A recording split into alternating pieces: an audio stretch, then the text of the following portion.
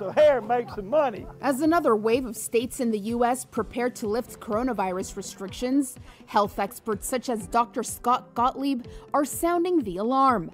The former FDA commissioner said on Face the Nation on Sunday that Georgia, which has already taken steps to restart its economy, is